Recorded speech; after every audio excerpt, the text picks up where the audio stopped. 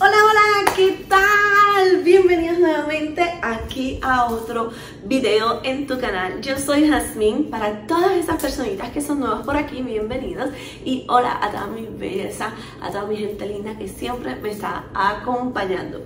En el día de hoy les voy a platicar cómo va todo este proceso, qué es la que hay, qué estamos haciendo. Bueno, si estuviste viendo en el canal de vlogs, este, viste el proceso de mudanza, viste el proceso de llegar hasta acá y todo eso, pero sé que tienen muchas preguntas, ya estamos dentro de la casa, se las voy a responder y después de este video les voy a, publicar el tour. Estoy todavía investigando lo del internet, pero si no, como hoy nos quedamos en un hotel, en el hotel este, les trato de subir el video y bueno, vamos a comenzar.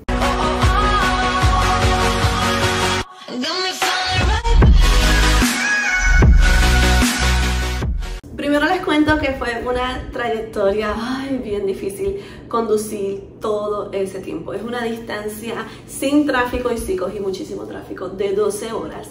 Alejandro ya lo requerían en su nuevo trabajo aquí, así que él no estuvo conmigo en todo el proceso. Estuvo hasta cierto punto conmigo haciendo decluring, limpiando la casa, preparándola para rentarla y este, viajó unas cuantas veces eh, para ayudarme y se regresaba. Y la semana pasada, antes de que llegara el camión de mudanza, Alejandro, Alejandro estuvo y me ayudó, como vieron en algunas eh, videos del, eh, del canal de blog, me ayudó a, sacar las últimas cosas, a empacar todo y todo eso. Entonces llegó el camión de mudanza y se llevó todo y a los dos días del camión de mudanza llegar, porque yo contraté dos, dos compañías, una que me empacaba todo, me lo empacaba y me lo dejaba listo para que la segunda compañía, que es la compañía que, que mueve toda mi mudanza, llegara.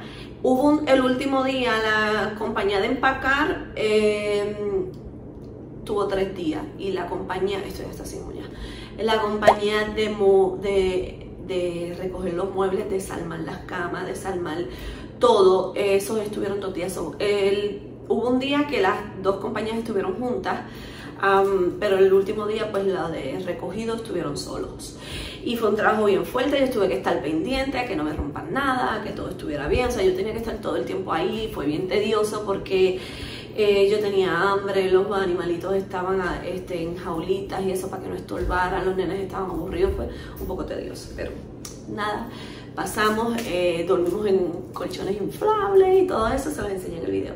Entonces después eh, cogimos la trayectoria de, muda, de movernos en carretera hacia acá tomé la decisión de guiar solamente 6 horas, 6 horas hasta acá y fue horrible, fue horrible guiar las 6 horas porque estaba tan cansada de limpiar la casa, de este, vaciar lo último, porque yo no sé de dónde sale tanta basurita, tanta cosita, fue horrible. Yo me imagino de ellos vaciando gavetas o se caen cosas, horrible y vaciar todo lo que ellos no se llevan. Ellos no se llevan nada de mi la cena, de mi pantry, no se llevan nada de abajo de los counters de los baños. Entonces todo eso yo tenía que salir de eso, regalar, empacar. Fue horrible. Yo estaba tan cansada y me cogí ese viaje de seis horas para avanzar.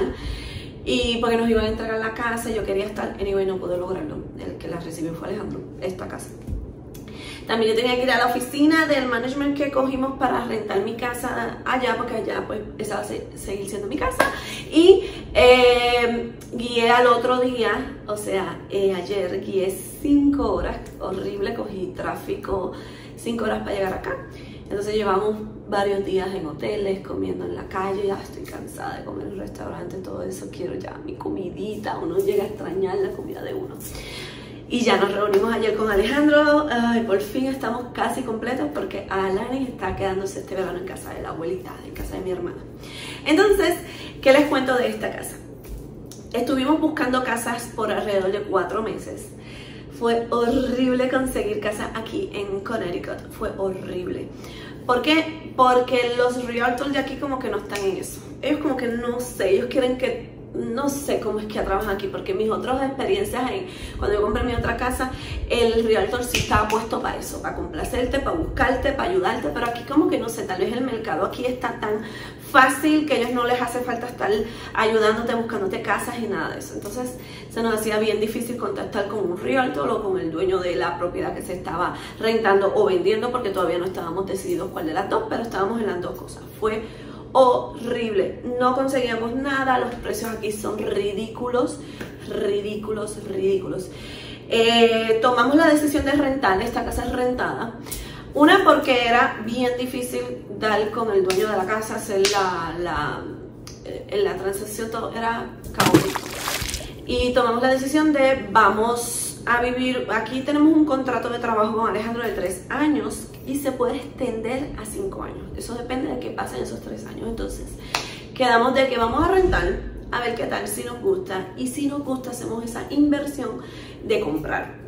A ver qué tal, cómo va la cosa y compramos. Yo no quería comprar para dos o tres añitos, sentía como que no hacía sentido y más acá que como que nunca me visualicé vivir en esta área, en el norte de Estados Unidos, como que no me, no me llamó mucho la atención y pues decidimos rentar. ¿Qué pasa? Cuando tomamos la decisión vamos a rentar, empezamos a contactar a todo el mundo para rentar y wow. Nuevamente lo mismo, la gente no está en eso, es bien difícil dar con las personas, con los realtors, ahí sí que menos te hacen caso, porque ellos lo que más les conviene es vender porque tienen su comisión, entonces rentar como que no están en eso, por lo menos fue mi experiencia. No quiero ofender a nadie que se dedique a eso aquí en Connecticut, pero en verdad esa fue mi experiencia, fue horrible.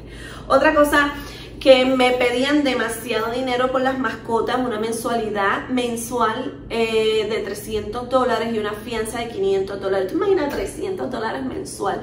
por mis gatitos y mis perritos era una cantidad absurda. Adicional, muchas casas para mudarnos nos pedían un depósito de como 6 mil dólares sin devolución, más eh, un mes adelantado y una fianza. Y tú, what in the head?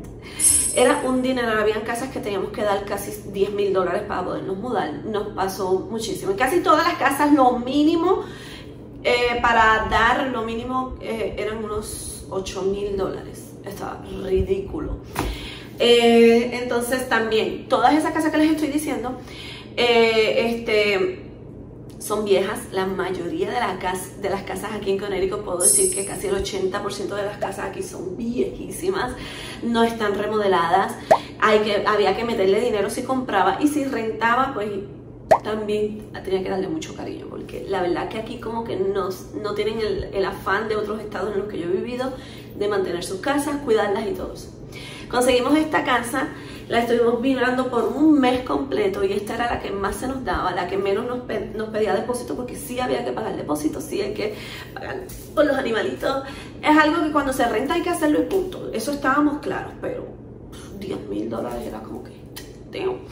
Pero anyway, sí, aquí se pagó eh, depósito, mes adelantado y todo eso. Eh, y entonces en este estado se paga casi el doble de luz de lo que yo pago allá.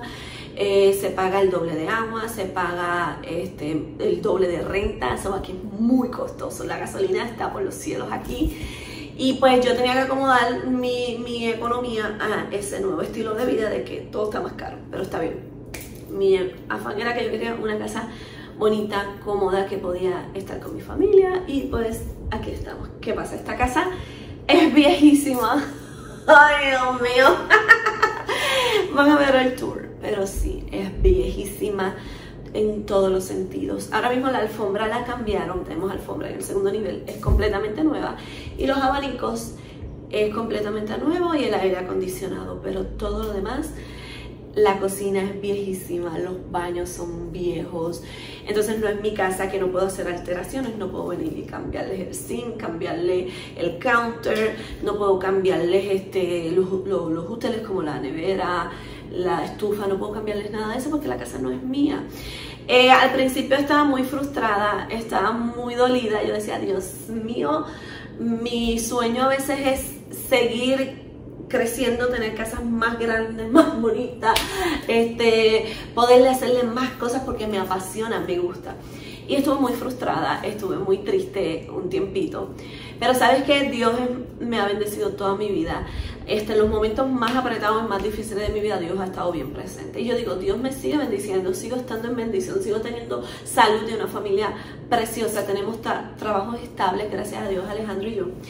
Y entonces dije, quiero que esta casa sea una oportunidad para yo hacer algo dedicado a esas personas que no pueden tener una casa nueva como la que yo tengo en, Carolina del Norte, no puedo ser una casa demasiado grande.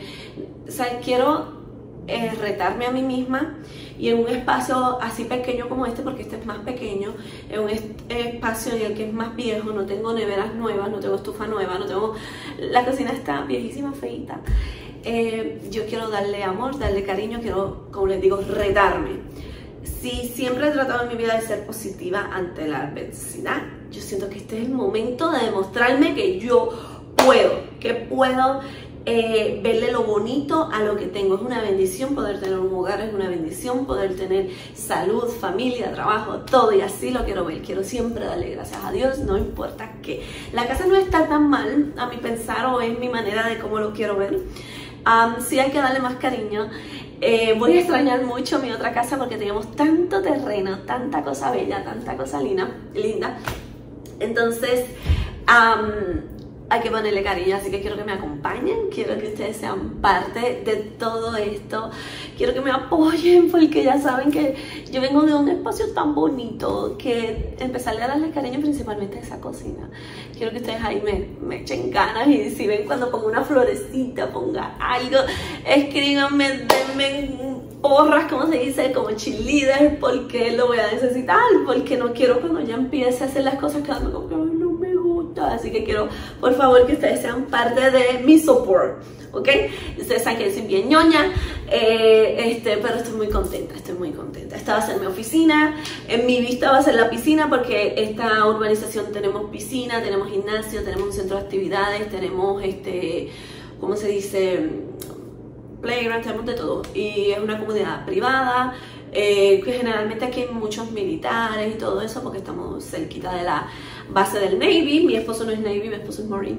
Y me encanta que voy a tener la piscina, literalmente ahí estoy viendo la piscina, está súper linda, súper grande. Y nada, comenzamos una nueva vida aquí. Vamos a ver este, cómo nos va. Ya viene otoño, ya vamos a empezar con otoño. Tengo que comprar un comedor nuevo. Ayúdenme a comprar un comedor nuevo. Ayúdenme a comprar cortinas, a comprar cositas para los baños, para darles cariñito. Así que Espero que ustedes estén ahí siempre como lo han hecho en todo este camino a mi lado y espero inspirar a muchas personas que, que, tienen una casita así como la que yo tengo ahora y también a las que tienen sus casas gigantes también que la inspiren a, espero inspirarla siempre a darle cariño a todo, a cada esquinita y seguimos con la pasión de decorar, de, de limpiar nuestro hogar, darle buena vibra, mucho amor. Nos vemos, espero verlas prontito. Bye bye.